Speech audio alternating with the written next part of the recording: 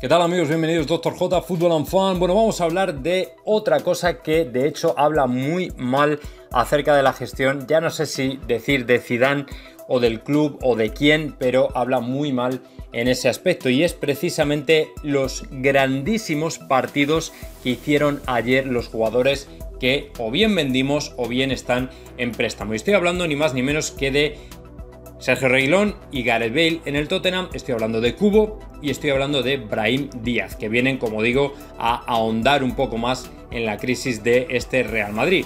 Porque no sé si tuviste la oportunidad, pero ayer, por ejemplo, en el Tottenham Sergio Reguilón se marcaba un jugador increíble y Gareth Bale, la verdad es que en general, que por cierto Gareth Bale fue el que asistió para el autogol del equipo contrario, pues hizo, me parece que un partido bastante decente, todavía se le nota evidentemente que no tiene ritmo competitivo, pero también es verdad que dejó detalles que a mí me da que pensar en el sentido de que es muy recuperable y que es un jugador al que todavía le queda gasolina. Luego, ¿qué os voy a hablar de Cubo, que ayer marcó un gol y dio dos asistencias en su primera titularidad con el Villarreal, aunque aquí no solo se habla mal de Zidane, sino también de Unai Emery, que no quería ponerle como titular y finalmente pues ahora se da cuenta de que es un jugador al que debe, debe poner como titular prácticamente domingo sí y domingo también. Y si no, pues hablamos de eh, Brian Díaz, que también ayer con el Milan ganó su partido y que no solo marcó, sino que además dejó jugadas absolutamente increíbles. Evidentemente, cuando uno ve esto, el tipo de jugadores que hemos ido dejando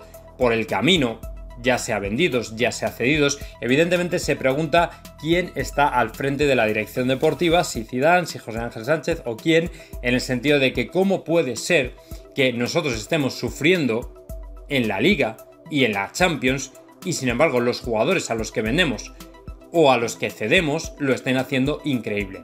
¿Qué pasa? ¿Que es que van equipos menores? Hombre, yo creo que no. Al fin y al cabo el Tottenham es un muy buen equipo y vemos que Reguilón y Bale lo están haciendo bien.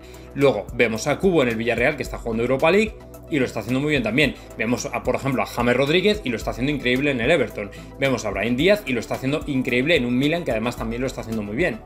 Con lo cual no puedo entender cómo puede ser que estamos dejando escapar a los mejores jugadores mientras que nosotros estamos sufriendo en una temporada en la que, como digo, nos cuesta mucho todo. No solo hacer gol, sino también simplemente jugar. Así que bueno, vamos a ver qué es lo que ocurre, pero esto evidentemente no habla nada bien en cuanto a la política deportiva del Real Madrid. Así que nada más, dadle like al vídeo si os gustó, comentad lo que queráis y por supuesto suscribiros a mi canal Dr. J Fútbol Fan.